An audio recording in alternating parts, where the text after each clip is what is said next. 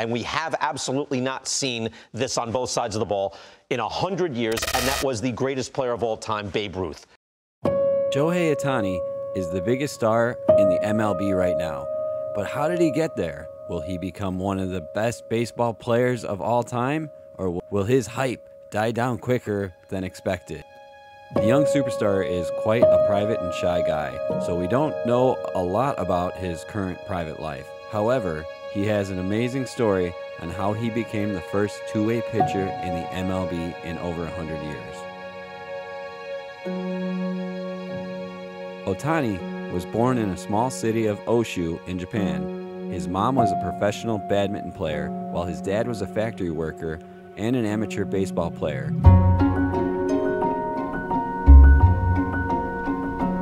With both parents sports had a big role in Otani's family life. 何時ですかね8時ぐらいに起きて、まあ、ご飯食べて。うんまあちょっとゆっくりして、まあ、練習場に行って練習して。何時ぐらいまでですかね。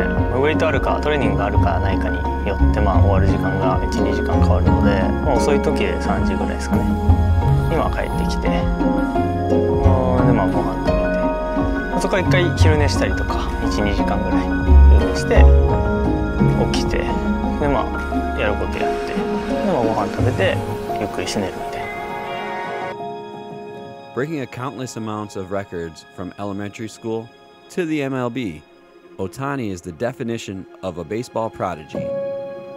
After developing for a few years in the top Japanese baseball league, Shohei made a leap to come to the MLB in 2017 by signing with the Angels in December. We're excited to welcome the newest member to the Angel family. Welcome to Southern California, Ohtani San.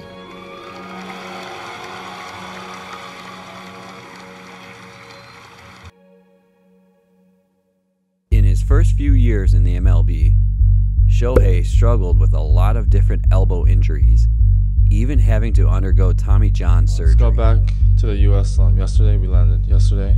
Got right back to practice today, and everything's going well so far.